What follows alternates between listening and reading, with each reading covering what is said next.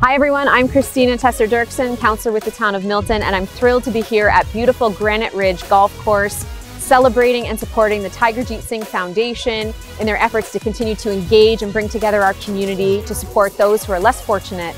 I'm thrilled to be friends and partners with these wonderful folks who care so much for our community.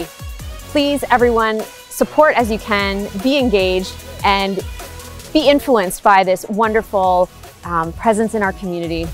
Thank you so much to Tigerjeet Singh Foundation, and I wish everyone a wonderful day.